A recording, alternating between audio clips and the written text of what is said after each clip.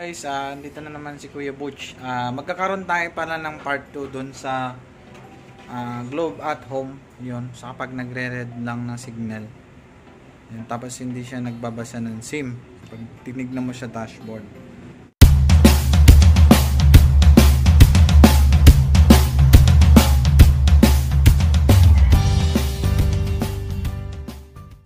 So ngayon, ah, bibigyan natin ng part 2 dahil may mga nagtatanong kung paano ba i-reheat, paano ba buksan.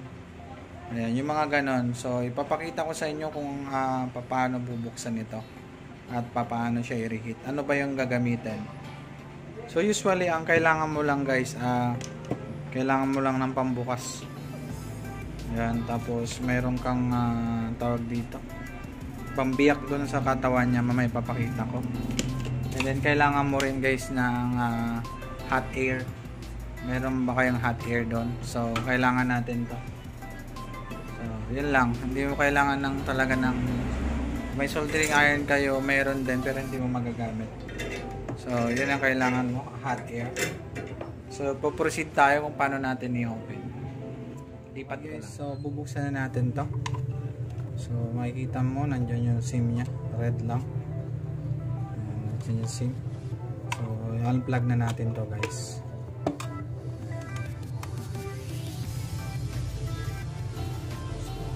Either tanggalin mo na kagad yung SIM dito.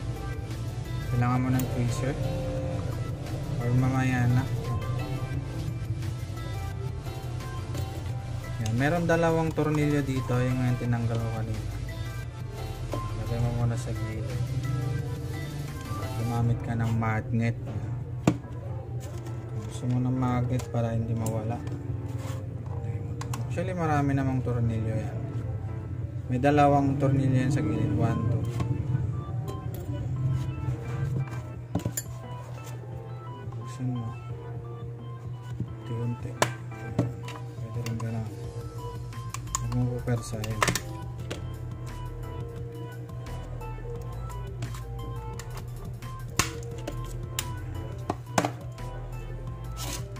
wala namang maapektuhan dyan. So, simple lang yan. Then, nabuksan mo na. May matitira. So, next.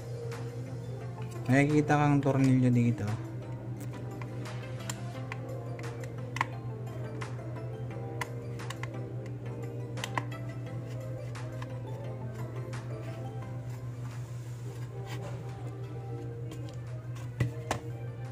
So magpainit ka na ng, ng hot air.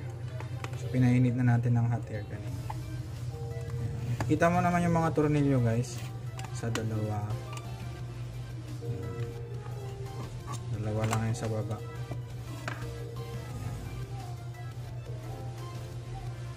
Diba? Then next, tatanggalin mo to antena.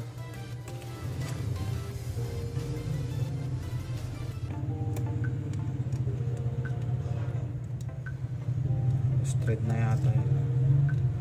Actually, madali lang malustred to guys.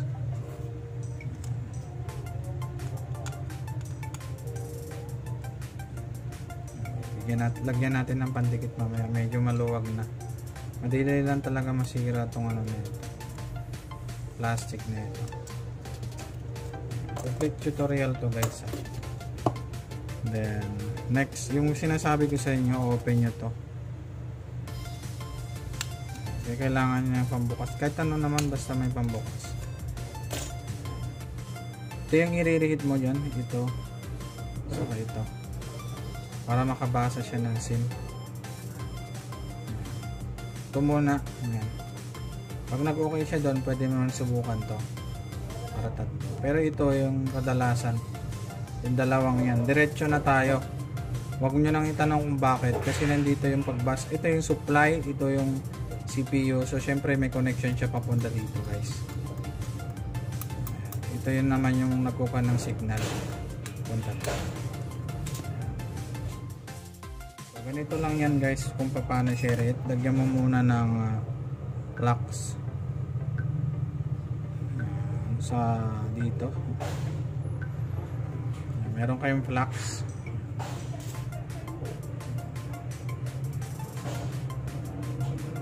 Sabi ko, i-reheat nyo palibot.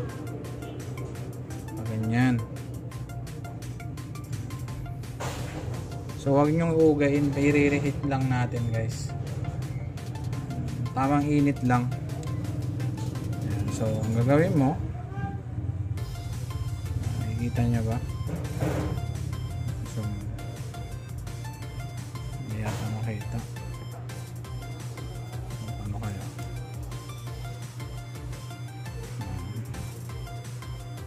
I-reheat nyo lang yan.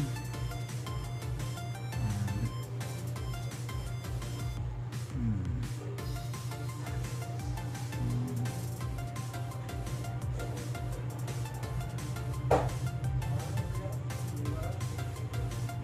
Then next Mainit na to guys eh. Paikutan nyo, huwag nyong pagitnaan guys. Masisira yung IC.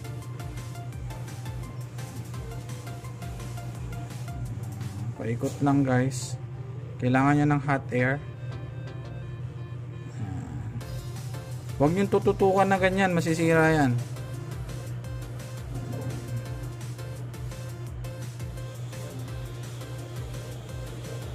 Okay, next. Palamagin natin, palamagin natin. Tutok ko lang sa electric fan.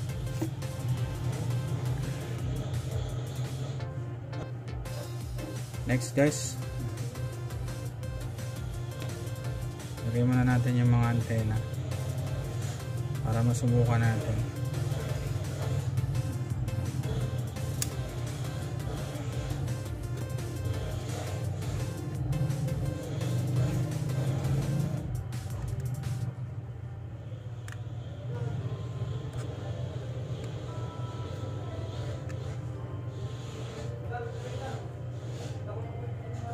Itong kabila.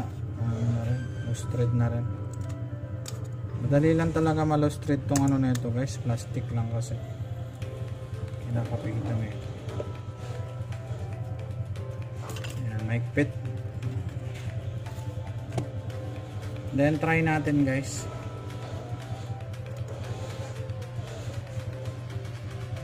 Bago niya sa dapat yun mag blue magbulo dapat yan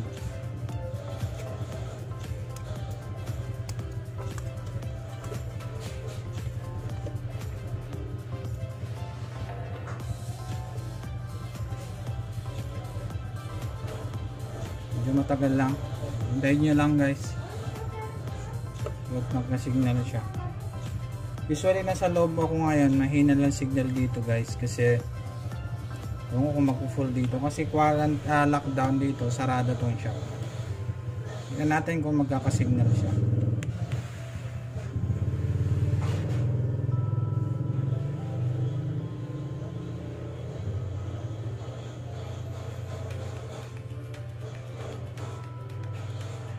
Boom! Diba? Blue na siya. Meron siyang isang signal na sa loob kasi ako ng ano ng shop. Nakasarado lahat. So pag linabas ko to malakas to. Kulong dito guys. Yan. So yan. Okay na yan. So babalik na lang natin. Yung kasimple ano pagbalik? Di balik mo rin ulit. Ganun ulit. Lagay mo yung tornilyo kasi yung mga nagtatanong dyan kung paano i-reheat. Yan, di pa pala nabalik to.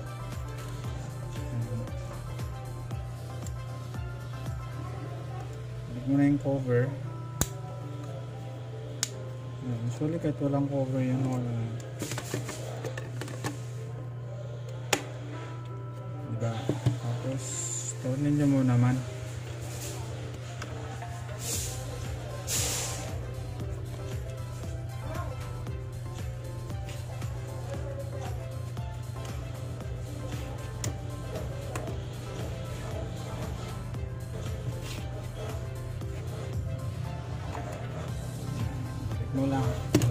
Hindi naman masyado mahirap guys basta alam mo yung nire-reheat mo guys tinuro ko na sa inyo ka lahat yan, yung iba kasi hindi daw effective. So usually may mga ano kasi yung walang EMI. So hindi ko na alam gagawin ko dun sa EMI kasi ito lang naman yung na-encounter ko. Usually kapag walang EMEI, ayan, IMEI,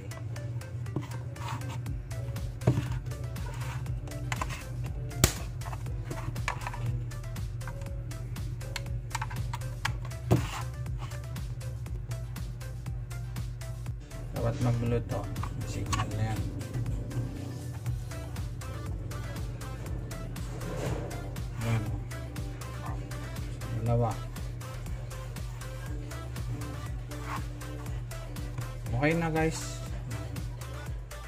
Guys so ito na yung ano. Ah sana wala nang tanong kung paano siya i-rate mabilis lang yung ginawa ko guys saka direct to the point. Paano buksan saka paano i-reheat. Yan, siguro okay na. So, kapag hindi talaga siya magawa, basta yun lang ang alam kong solution doon sa sira na wa, hindi nakakabasa ng SIM kaya wala siyang signal.